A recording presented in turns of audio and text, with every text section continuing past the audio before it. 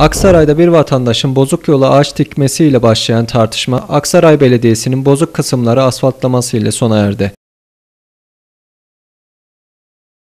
Aksaray'ın Eskil ilçesinde Kapıtaş Akkaş yolunun bozuk olması bir vatandaşı kızdırdı. Belediyeyi protesto etmek isteyen vatandaş yoldaki çukurlara ağaç dikti. İl Özel İdaresi sorumluluğundaki yolla ilgili açıklama yapan Eskil Belediye Başkanı Necati Belgemen, kendini bilmez biri veya birileri devletimizin yoluna ağaç dikmiş diyerek tepki gösterdi. Protestocularla ilgili adli mercilere müracaat edildiğini belirten Başkan Belgemen, yolun onarılması için harekete geçti. Aradan geçen iki haftanın ardından Aksaray Belediyesi ekipleri ağaç dökülen yolda asfaltlama çalışması yaptı. Ekipler yolun bozuk ve çukur yerlerine asfalt dökerek yama yaptılar.